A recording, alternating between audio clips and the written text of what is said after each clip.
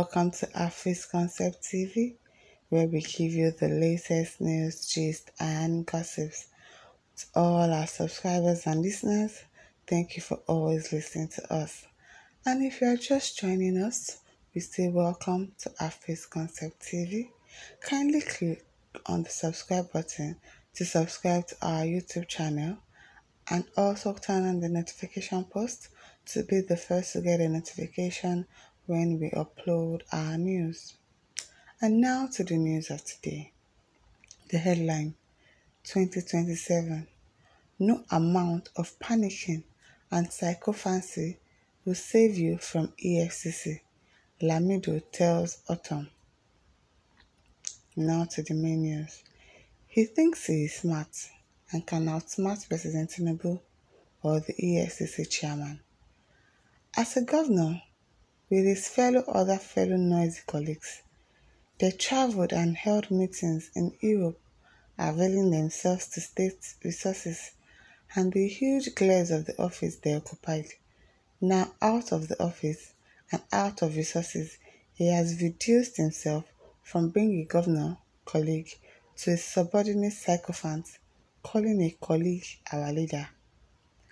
I had cause to state then that they had no personality of their own, but rather that of the office they occupied. Now out of office and in the category of former governors, the fear of being called to account for his stewardship is now making him lose his soul. That is, if he has any in a shell. No amount of panicking and sycophancy will save you from EFCC. President Tinubu won your state without an iota of your support and does not need you in 2027. As for the one you call your leader, he is lucky to, by the grace of President Tinubu, have an office to hang on to. He would have otherwise been in a more pitiful solution, position. He too, the seconds are ticking. This sounds like a threat to me. Like, okay, so this because this person did not vote for you, you did not, it did not rally around for vote for you, for President Tinubu, and now because of that, you want to start pursuing him with EFCC threats and all of that. I think that is what they are trying to do. Someone in the comment section says, I hope this hit is not because of the ban on open grazing. Hmm. It might be because these politicians are always on revenge mission, revenge mission, revenge mission. Because he didn't vote for me, I will not do this for him. I don't know why we are like that in this country.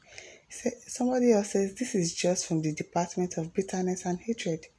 I may not like Ortom, but this hatred can't win any case in the law courts. Hmm. It might though, if this if this um, administration, if they have your time, if they decide to punish you, hmm, it only takes the grace of God to, to, to, to save you from them. I hope what they want to arrest him for is actually genuine. My listeners, what do you think? Kindly leave your thoughts in the comment section. And do not forget to like, to share, and to subscribe to our YouTube channel. Thank you for listening. See you some